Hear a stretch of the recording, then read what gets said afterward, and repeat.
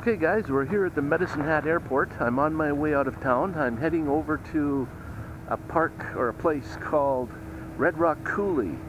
Uh, the rock formation is uh, just fantastic out there, so I thought I'd do some videoing and show you what that's like. So uh, we're off and we'll see you when I get out there.